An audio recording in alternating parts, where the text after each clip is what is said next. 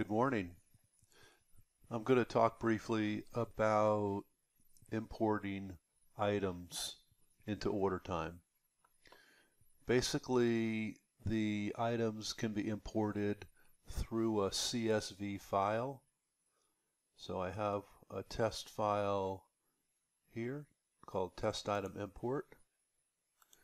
And you could see here that there are several columns here, A through S, and each column corresponds to a field related to the inventory item.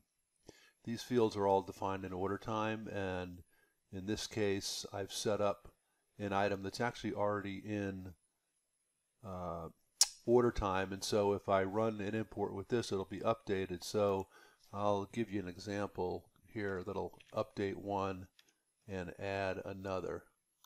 So we'll call this one, one um, four, five, six straw. Okay, and then we'll call this uh, S456. This will become the uh, item number or name as they call it here. Uh, we'll talk about groups uh, briefly, but this is in the parts group. Okay, its unit of measure is each. Order time can handle several units of measure. Let's just say the price of this is uh, 76 and the weight is 0.9. Uh, I'll leave the volume alone. You can have different uh, bins locations, but for now I just use default. Order time can track lots. In this case, I am not going to track a lot. Warranty, you could see the uh, numerous fields that we'll explain later. In this case, we'll say the cost is 15.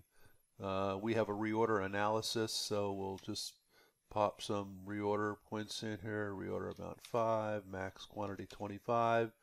Uh, manufacturer, again, we'll just say Acme, and I'm going to show you uh, an error because I don't have Acme set up as my manufacturer, but in this case, it is not a critical error. Uh, we'll say the manufacturer part is 456S. and then finally a UPC 345-9. Okay, so I'm going to save this, which is already formatted as a CSV file. And I'll minimize it. And I'm going to show you here, I already have an item set up with uh, 123 widget. So you're going to see an update and then you're going to see it will add the uh, B456. So I go up here, this area here, if I ever refer to go to the admin, it's right here, this widget.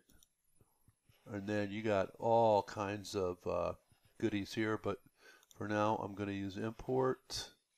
Okay, these are all import jobs that I've done, and you can see that uh, uh, I didn't too well do too well in the beginning. I got a lot of errors, but I got, sort of got the hang of it as I move forward. So I'm going to do a new import job.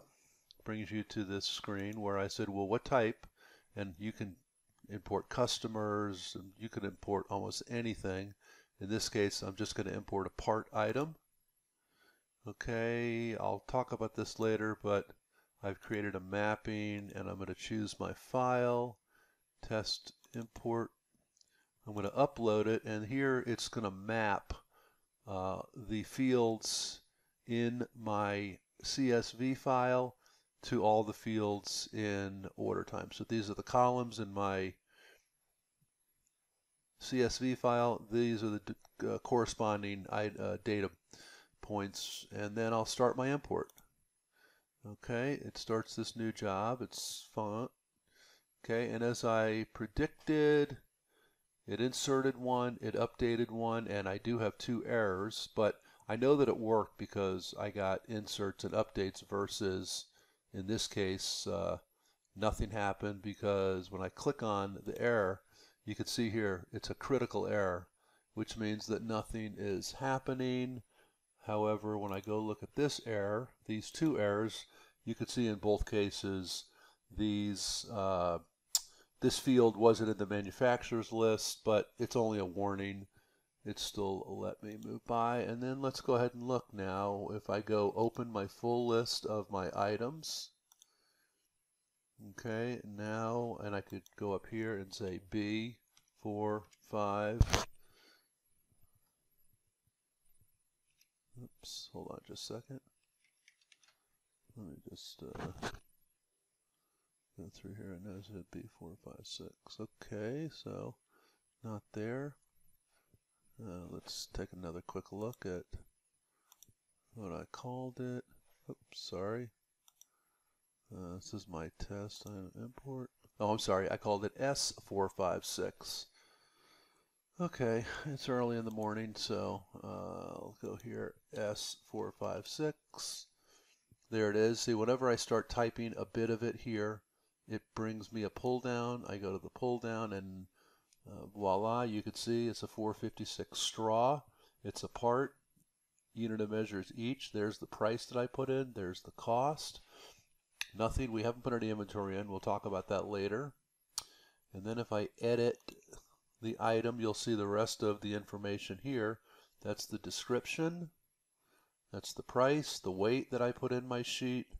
Under purchasing, my cost, which these all of these things were in my import sheet uh, that came in. So that wraps it up for importing an item.